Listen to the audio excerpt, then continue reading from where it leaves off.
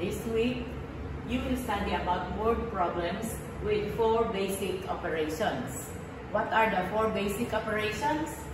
Addition, subtraction, multiplication, and division. Here is an example. Kent is a boy. He plans to buy a bicycle that costs 1,500 baht.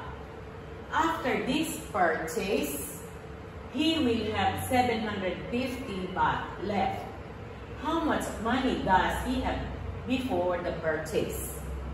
So, to clarify the problem, you have number one. What is the story of this word problem? So the story of this word problem is Kent.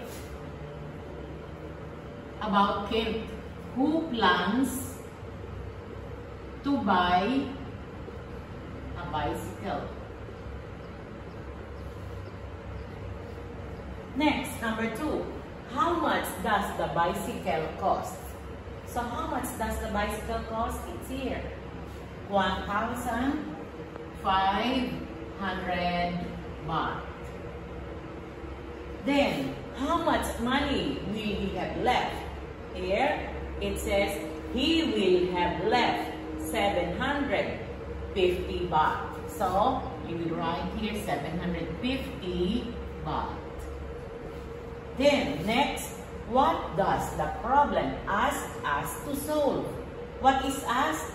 How much money does he have before the purchase? So, the question is the amount or the money he have left after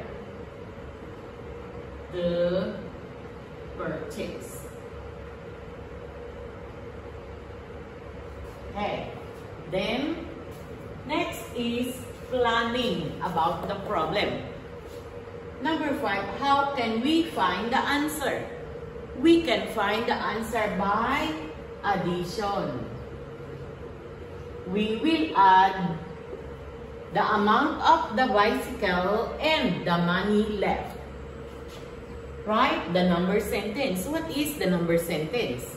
So the number sentence will be 1,500 plus 750 is equal to what? We don't know the answer yet. And then number 7, what is the answer? So, you will get a separate sheet of paper and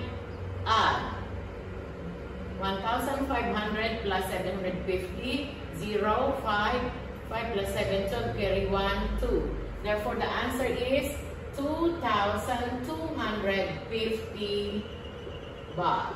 How much money does he have before the purchase? So, the money before the purchase is 2,250 baht. And for your homework, you will answer exercise 1 problems 1 to 4. In your homework, you will only need to do 6, 7, and 8. Just write the number sentence and the answer. That's all. Thank you.